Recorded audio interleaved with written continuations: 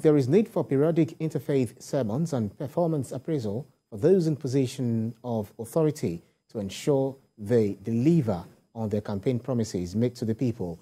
That was the submission of the renowned Islamic scholar Sheikh Amawalaga at the 2023 Ramadan lecture organized by the Independent National Electoral Commission in Osun State. TVC News correspondent Rafi Hamid was there.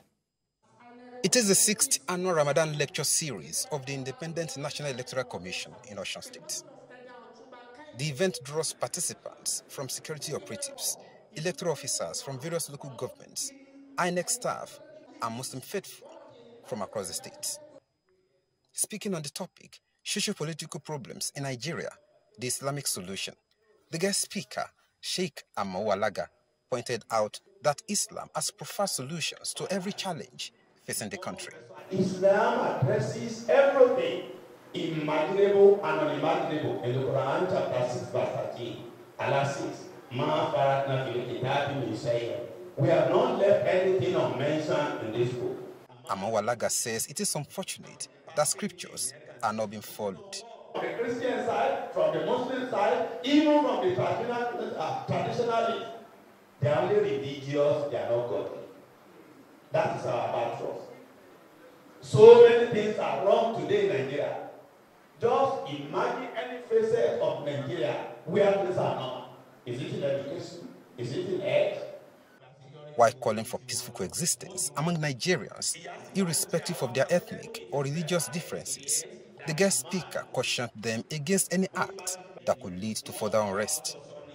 Both the Olororuo of Ororuo and the Akiri of Ikirele believe the lecture is timely, coming few weeks after the general elections. Chairman of the occasion and former resident electoral commissioner in the state, Professor Abdulgani Raji, calls for attitudinal change in the interest of all. Don't do things the way people are doing it, but you do the right thing. Otherwise, everything will go in the wrong way. And that is exactly what he has told us, that we should review and assess the situation in the country rather than doing it the way everybody is doing it. Everybody is just following the same path. Mutiu Agboke is the state resident electoral commissioner. He speaks on the reasons for the topic. We have used it to remind them what is their responsibility, what is our responsibility, what they need to do, and what they need not do. Because in most cases, what people need are not being provided for. Where there are security challenges, I think those who have been voted in should look inward and see how that can be quelled. Other speakers called on politicians to be conscious of promises they make to the people. Rafi Hamid, TVC News, Osogbo.